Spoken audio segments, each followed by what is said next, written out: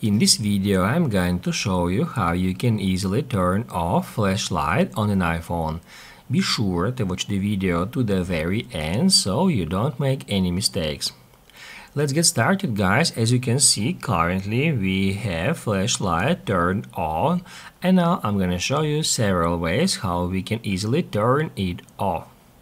The first way, if your iPhone is unlocked, is uh, swipe down from the top of the screen. That brings us the notification center. And from here we can easily turn off flashlight if we long press and this flashlight icon. That's how we can easily turn it on and off.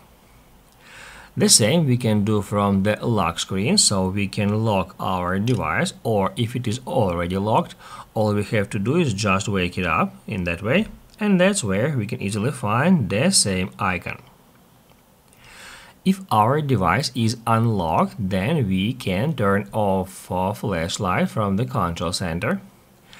To do that, just swipe down from the top right corner of the screen that will bring you the control center.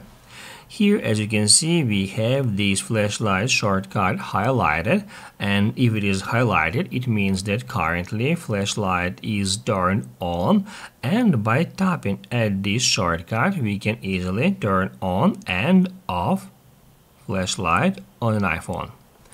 And uh, if you have iPhone 15 or newer version, I mean if you have iPhone with the dynamic island, Right here, if flashlight turn on, we will see this flashlight indicator here and we can easily tap at the dynamic island and then we can easily turn on and off, I mean actually turn off uh, flashlight if we tap right there.